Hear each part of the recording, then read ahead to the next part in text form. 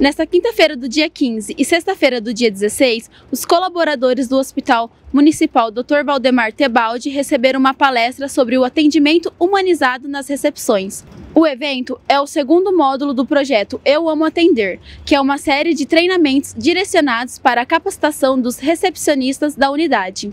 A palestra denominada Eu Amo Cuidar foi apresentada em duas sessões pelo supervisor de atendimento do HM, Marcelo Amaro César, criador do projeto, e também pelas psicólogas Ana Cláudia Vieira Bessa, Juliana Fátima de Oliveira Santos e Aline Aparecida Cardoso. O projeto Eu Amo Atender teve início em janeiro com o objetivo de aperfeiçoar e padronizar as rotinas de acolhimento e atendimento de pacientes no Hospital Municipal.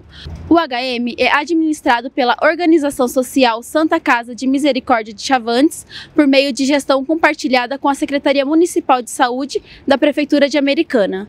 Vitória Silva para a Rede Todo Dia.